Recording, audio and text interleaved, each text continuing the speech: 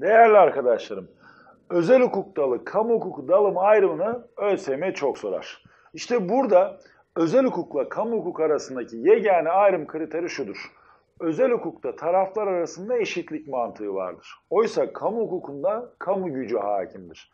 Yani kamuyla birey arasında bir eşitsizlik mantığı vardır ve kamu üstündür. İşte bu anlamda anayasa hukuku, idare hukuku, ceza hukuku, vergi hukuku, icra iflas hukuku, medeni usul hukuku ve devletler genel hukuku kamu hukukunda medeni hukuk, borçlar hukuku, ticaret hukuku ve devletler özelde özel hukuk tarafındadır. Karma hukuk dallarımız da var, iş hukuku vesaire gibi ama unutmuyoruz. Devletler genel hukuku yani devletlerin diplomatik ilişkilerini düzenleyen hukuk dalı bizim için kamu hukuku dalıdır.